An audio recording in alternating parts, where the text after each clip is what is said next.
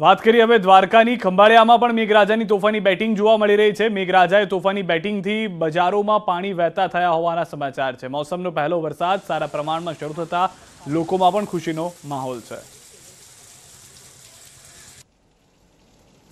તો ખંભાળિયા દ્વારકાના દ્રશ્યો આપ જોઈ રહ્યા છો અને અનેક એવા વિસ્તારો દ્વારકામાં કે જ્યાં પણ સતત વરસાદને લઈને અપડેટ મળી રહી છે. કેટલાક એવા વિસ્તારો કે જેમાં સવારથી જ વરસાદ શરૂ થયો છે અને હજી પણ વરસાદ વરસી રહ્યો છે.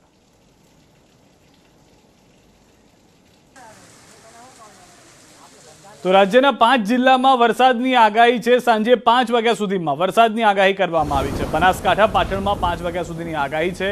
ખેડા, દ્વારકામાં પણ પાંચ વાગ્યા સુધીની આગાહી છે. કચ્છમાં પણ પાંચ વાગ્યા સુધીની આગાહી છે. ગાજવીજ સાથે પડી શકે છે વરસાદ. ચાલીસ કિલોમીટરની ઝડપથી ફૂંકાઈ શકે છે પવન.